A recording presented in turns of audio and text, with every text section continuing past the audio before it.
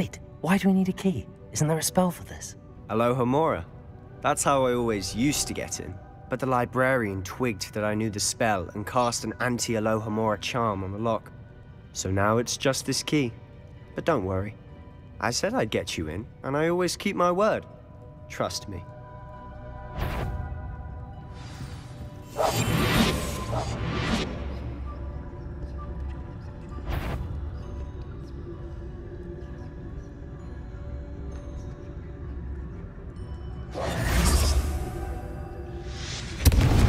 Is someone there? The library is no place for lark. Is someone there? Is that you, Peeves?